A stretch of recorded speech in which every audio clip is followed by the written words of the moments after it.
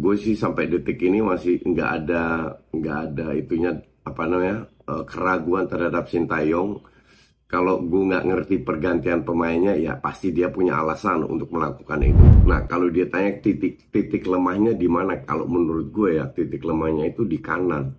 Berapa kali Fajar dilewatin kalah speed dan hampir semua serangan Australia itu dari kanan kita kiri mereka. Dan satu hal yang positif lagi soal penalti yang di stop sama Hernando. Apakah itu penalti? Gue bilang gue nggak ngerti wasit-wasit ini ya. Mereka itu terlalu textbook.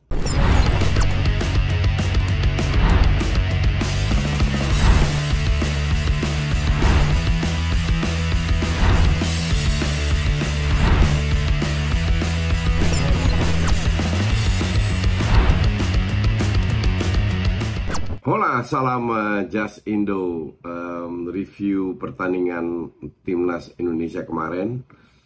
Seperti kalian tahu, um, kita menang 1-0, tapi sebelum ke sana, Qatar menang lawan Jordan. Um, extra time-nya itu 10 menit dan mereka cetak gol di uh, hampir uh, menit ke-14, 13 plus plus.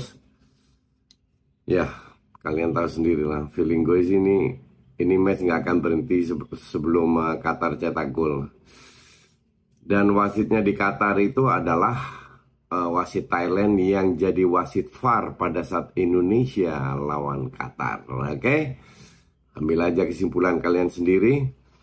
Jadi uh, Qatar menang dua pertandingan, Australia sama Jordan satu-satu, kita tiga poin. Artinya kita memang secara secara teoretis seri cukup untuk lolos. Tapi kalau gue bilang pemain fokusnya harus ke menang. Mindset itu di menang. Jangan incer seri karena pengalaman gue sebagai pelatih dulu di timnas kalau kita incer seri ujungnya kita kalah ya. Jadi kita harus masuk lapangan untuk menang. Nah di pertandingan kemarin itu agak ya banyak orang agak takut ya bahwa apakah kita bisa menang lawan Australia. Gue itu siaran di uh, Jaspil sama DPI kalau nggak salah gue bilang. Um, atau di, di ini di saya juga sama Helmi gue bilang kita bisa menang dan gue yakin kita akan menang. Se seyakin itu karena uh, berdasarkan match pertama banyak hal yang positif banyak yang kurang positif. Nah hal-hal positif ini harus kita tingkatkan. Oke? Okay? harus kita tingkatkan dengan ya gue sih sampai detik ini masih nggak ada nggak ada itunya apa namanya uh, keraguan terhadap Sintayong kalau gue nggak ngerti pergantian pemainnya ya pasti dia punya alasan untuk melakukan itu. Jadi kita terima aja kita ini cuma netizen oke? Okay? kita terima aja apa yang di, dilakukan oleh Sintayong suka nggak suka. Um, apa namanya jadi uh, yang membuat gue yakin ya banyak hal sebenarnya. Dan ini U23 Australia itu tidak sehebat yang kalian pikir. Ini bukan timnas Italia, Prancis, Jerman atau Belanda atau Inggris. Ini cuma Australia, come on. Australia itu mereka bisa lolos ke Piala Dunia tim seniornya uh, lebih sebagai apa namanya pelengkap juga peserta di Piala Dunia sering out juga apalagi U23 yang untuk gue sih uh, mayoritas main di liga lokal atau bukan pemain pemain top lah. Jadi kalian kemarin juga bisa lihat sendiri begitu banyak crossing yang ngawur dari mereka, end passing yang ngawur sehingga ya dibilang banyak peluang juga enggak. Bahwa mereka dapat peluang iya, tapi dibilang banyak enggak juga. Nah, kita mulai dari babak pertama dulu. Babak pertama tidak ada Rio Fahmi, diganti Fajar, tidak ada uh, Ark Arkan ya, Arkan sama Ivar Jenner. Di situ Nathan main sebagai uh, starter, Hubner uh, sebagai starter, eh enggak Hubner masuk sebagai cadangan. Si siapa itu namanya? Uh, Kelly, Kelly main, terus um, back kanan ya lupa gue namanya lah tapi intinya adalah Fajar Fajar main sebagai kanan um, intinya adalah bahwa kita dari detik awal itu sudah mulai ngepres gue gue itu sangat impress dengan Witan ya gila ini orang kerjanya luar biasa etosnya. Cuman di, di sisi itu dia juga terlalu banyak bikin error, error di passing. Jadi dia punya kontribusi for sure luar biasa. Cuman gue harap uh, Witan bisa lebih memperbaiki uh, kualitas passingnya, terutama di momen-momen penting. Uh, semoga akan lebih baik di next matchnya. Di situ dia akan bisa kontribusi lebih banyak lagi. Jadi dari awal pemain depan itu sudah melakukan pressure dan pemain tengah tidak parkir base benar-benar berusaha untuk menutup ruang tapi karena terlalu banyak error di passing sehingga Australia cepatnya melakukan counter. Begitu pula dari Australia sering juga error kita melakukan counter sehingga di lapangan itu benar-benar banyak banget ruang. Jadi pemain itu benar melebar, memanjang sehingga di tengah itu banyak sekali ruang yang kosong dan itu gue bilang kurang dimanfaatkan oleh tim kita kombinasinya kurang banyak walaupun kombinasi sekarang lebih banyak daripada match pertama kurang banyak untuk bisa men men mengkill the game lah kasarnya begitu. Kita tidak memiliki banyak peluang gue setuju. Tapi uh, definitely bahwa pertama kita imbang. Nah kita butuh keberuntungan. Dalam sepak bola itu butuh keberuntungan. Lihat City kemarin nggak lolos karena nggak beruntung. Arsenal nggak bisa cetak gol karena nggak beruntung uh, Munchen dapat satu peluang satu gol. Kasarnya begitulah.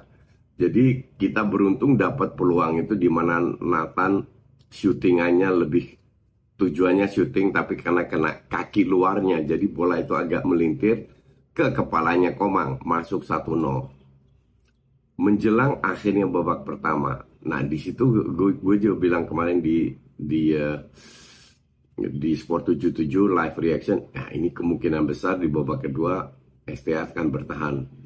Idealnya kita mempertahankan intensitas atau pace, tapi nampaknya nggak bisa atau tidak sesuai dengan game plan-nya. Sintayong, Sintayong kayaknya memberikan instruksi lebih bermain di babak sendiri mengincar counter. Nah di babak kedua Australia lebih pegang bola 65% kalau nggak salah atau ya 65-35. Tapi nggak ada masalah mereka pegang bola karena end passing mereka juga buruk dan bola-bola atas kita juga sering menang. Jadi ada berapa dua kali setengah peluang lah atau tiga kali nggak nggak nggak banyak nggak ada benar-benar peluang yang yang mungkin sekali peluang besar tapi nggak nggak terlalu banyak sehingga kita gampang survive. Harusnya bisa 2-0 pada saat di detik-detik akhir eh, tiga lawan satu counter. Harusnya bisa lebih tenang. Kita butuh gol. Ketenangan ini masih ups and down di di tim Indonesia. Nah, kalau dia tanya titik titik lemahnya di mana? Kalau menurut gue ya, titik lemahnya itu di kanan. Berapa kali Fajar dilewatin kalah speed dan hampir semua serangan Australia itu dari kanan kita, kiri mereka. Nah, ini harus diperbaiki. Rio Fami masuk, wah, niat. Rio Fami itu gue lihat dua kali dia main di timnas, nafsunya itu lebih besar daripada ketenangannya. Jadi pengen membuktikan, pengen lari-lari menunjukkan bahwa dia layak jadi starter, fighting spiritnya luar biasa. Tapi karena dia terlalu nafsu sehingga momen-momennya itu sering hilang atau sering hilang bola atau jadi dia harus lebih kalem lagi lah, kalem dia harus uh, belajar semoga diberi masukan kepada Sintayong pada saat menganalisa match ini kapan dia ambil keputusan untuk lari, kapan dia tahan, kapan dia passing dan lihat space. Dan berapa kali itu gue lihat main sepak bola itu kan kalau kita pegang bola itu nggak harus ke depan. Bisa ke belakang, bisa ke samping. Yang penting kita pegang bola dulu memanfaatkan ruang yang kosong biar Australia yang lari. Kita kadang nggak bisa ke depan dipaksa untuk ke depan. Nah ini harus berubah. Jadi tetap ada PR. Sayap kanannya harus diperbaiki uh, lebih harus lebih bisa pegang bola sama fokus ke counter attack. Counter attack kita dapat beberapa kali gagal semua. Ya karena kurang koordinasi, salah passing, hal-hal kayak gitulah.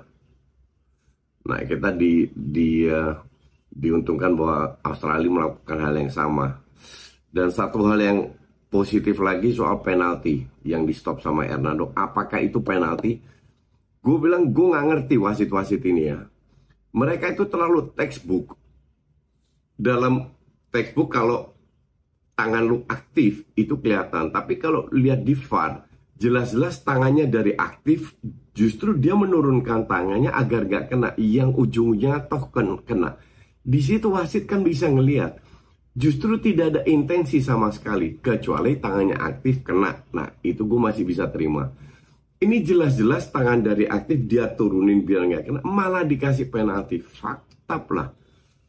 Gue bener-bener gedek sama wasit uh, di Piala Asia ini. Walaupun kemarin gak sejelek yang di match pertama tapi harusnya itu juga bukan penalti.